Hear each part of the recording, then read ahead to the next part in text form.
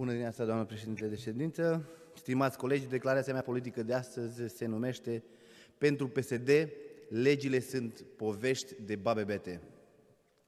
Președintele Organizației Județene a PSD Bisea Năsăud, Radu Moldovan, s-a referit zilele trecute la unul dintre proiectele mele legislative ca fiind povești de babe bete. Este vorba de inițiativa legislativă privind autostrada Nordului, semnată de 65 de deputați și senatori din toate partidele politice, inclusiv din PSD, care a fost aprobată în luna martie la Senat. Dacă autostrada Nordului va trece, această lege nu va putea să fie ignorată și nu contează și nu va conta coloratura politică din 2020, orice guvern va fi în România, va trebui să aplice această lege și să facă acest proiect. În timp ce pentru noi, românii de rând, legile sunt sfinte și trebuie respectate, tocmai pentru actuala putere, legile nu sunt altceva decât povești de babebete.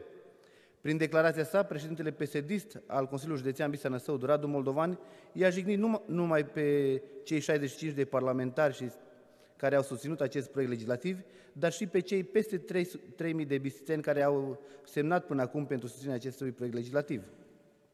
Povești de babe bete sunt mai degrabă minciunile PSD cu privire la performanțele administrației locale din Bisa Năsăud, condusă de PSD.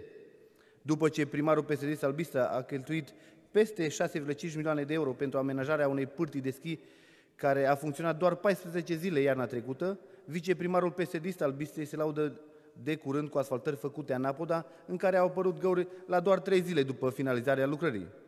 După ce a anunțat demolarea stadionului Jean Pădureanu din Bista, lăsat în izbeliște, președintele PSD al Consiliului Județean Bista Năsăud a cheltuit 13 miliarde de lei, 13 miliarde de lei vechi din bani publici pentru reabilitarea stadionului central din raionul Golden, din Republica Moldova. Domnule Radu Moldovan, oricât de mult ați încercat să denigrați o lege, nu vă mai crede nimeni. Prea mult le-a servit bistrițenilor povești de babebete. Dacă totuși în al 10-lea ceas vreți să dovediți că susțineți autostrada Nordului, asigurați-vă că toți parlamentarii PSD vor vota în Camera Deputaților această lege atât de importantă pentru bistreni.